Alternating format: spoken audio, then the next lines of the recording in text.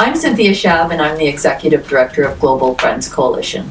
We work with new Americans in the greater Grand Forks community, and right now I'm in the Jogi family, where we have a volunteer named Marie who comes every week and helps the family and does fun things together. We have three main programs our Family Mentors and Adult Literacy program, our Resilient Youth program, and Community Outreach and Advocacy. Our Family Mentors and Youth uh, our Family Mentors and Adult Literacy program is our main program. It's the largest one where we're working with about 200 new Americans with over 100 volunteers. And every week, volunteers are in the homes helping. They might be teaching how to use the stove, the microwave, the dish- dishwasher.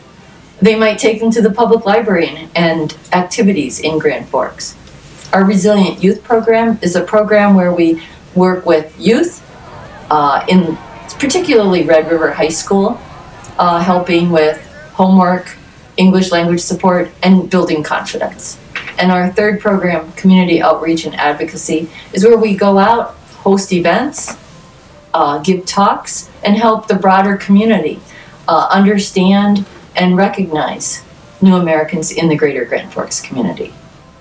We are always looking for volunteers. So if you're interested, go to our website at Global Friends Coalition, www.gfcoalition.org, or give us a call at 701 746 8233. My name is Erin Coons, and I've been working with Global Friends for about two years now. I think Global Friends is essential to Grand Forks because they do the very practical work of helping people who don't speak English, who come from a different country, get acclimated to the United States um, and to Grand Forks. And then they also do such a great job of letting the refugees represent themselves and their own identities and bring diverse cultures to the rest of this city. So we get to learn about the refugees, we get to have great events like World Refugee Day in the town square, um, where we get to learn about cultures, and it just makes our city more vibrant and creative and artistic. And so I'm very appreciative of the work they do, um, what they give to the refugees, and then eventually what the refugees give to the city.